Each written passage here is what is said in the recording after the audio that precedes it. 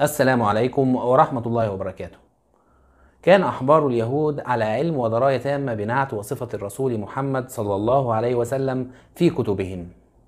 فأتى إليهم نفر من الصحابة يسألوهم عن تلك الصفات، فأنكروها وكتموا الحق، فأنزل الله تعالى: إن الذين يكتمون ما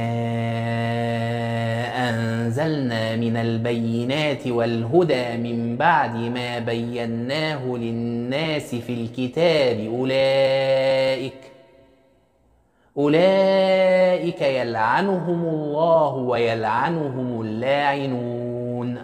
لم يكتف المعاندون من أهل الكتاب بضلالهم بل أرادوا أن يضلوا غيرهم فاستحقوا من الله عز وجل اللعن ومن الملائكة والمؤمنين والخلق أجمعين.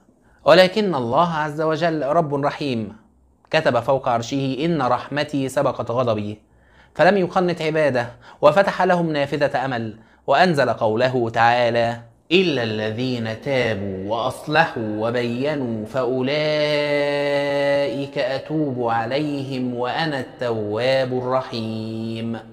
إلا الذين رجعوا مستغفرين الله من خطاياهم وأصلحوا ما أفسدوه وبينوا ما كتموه. فأولئك يقبل الله توبتهم ويجازيهم بالمغفرة.